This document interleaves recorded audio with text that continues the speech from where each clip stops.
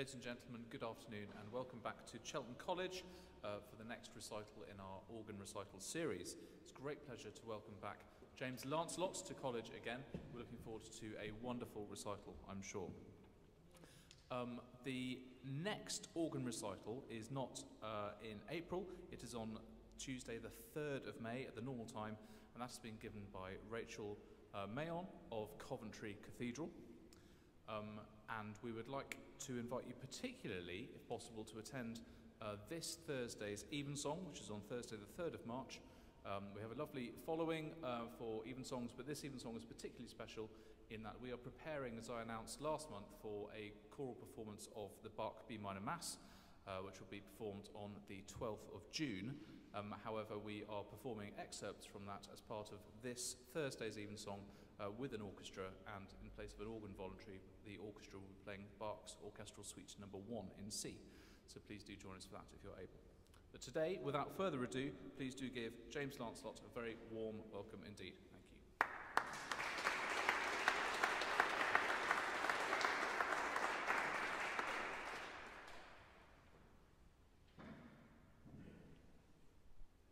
Ladies and gentlemen, good afternoon. It's a very great pleasure to be playing here once again on this instrument which has emerged so magnificently from its rebuild. It's transformed since I first knew it. Today's programme features three composers who have anniversaries this year, centenaries or half centenaries or quarter centenaries, Mendelssohn, Vaughan Williams and Franck. Bach doesn't need any anniversaries to justify his inclusion, of course. It also celebrates St David's Day through the Vaughan Williams preludes on the Welsh hymn tunes. And I'm very sorry, but I can't find any organ music that has anything to do with pancakes. The Bach is a real tour de force. He takes a small amount of fairly simple material and builds 438 bars of almost continuous um, semiquaver movements from it. Um, the pedal solos remind us of the importance of the pedal division in the German Baroque organ and the pedal division was not infrequently the largest division of the organ, and in contrast to every other European organ tradition of the time. The fugue is one of his longest organ fugues. The counter subject doesn't appear until a third of the way through, and it's not accompanied by the subject until two thirds of the way through. Uh, but once again, from simple material, Bach builds an enormous and very coherent structure. The Mendelssohn organ sonatas are particularly significant in the repertoire. They form a bridge between the classical and the romantic traditions. Number six, like some of the others, pays homage to the Lutheran tradition in setting a German chorale, in this case, the famous, well-known um, Lord's Prayer chorale, Vater Unser in Himmelreich. That chorale underpins the theme and variations and the fugue that follows. But beware, there's a finale which is soft and in D major, um, which wants applause after it and not before, preferably. Uh, that, that finale is unrelated to the um, Vater Unser chorale. Gloucestershire-born Vaughan Williams sets three Welsh hymn tunes um, to chorales. Uh, the first one is the other tune to Lord enthroned in heavenly splendour, Bryn Calfaria. It's not a terribly easy tune to sing, and it's not sung as often as it deserves because it is, despite its difficulties, rather fine. And then the well-known um, prelude, Rhosymedre, to a hymn tune that's really not very often sung, um, the, the tune of Author of Life Divine. And finally, um, he sets the well-known tune to Alleluia, Sing to Jesus, Hyfrydol. Um, it's written almost entirely in white notes, and within that parameter, it manages to be about as discordant as possible. I'm not sure whether Vaughan Williams was in a bad mood or whether he was just pushing the boundaries. Uh, it's not often heard, but I think it is worth a hearing. And finally, César Franck, a wide-ranging composer, but his spiritual home was always the organ loft of his beloved Saint Clotilde with its masterpiece Cavaille organ. And it's there that week in, week out, he improvised um, to the inspiration of many, many congregations and wrote organ works, precious few, but wonderful ones. Two themes are presented in this piece, and spoiler alert, it's the soft theme that comes second that um, triumphs in the end. These three chorales are Franck's last will and testament, a wonderful last will and testament, really a prayer set to music. And the world needs our prayers at the moment. But ladies and gentlemen, first to Bach and to the Toccata in F. Thank you very much.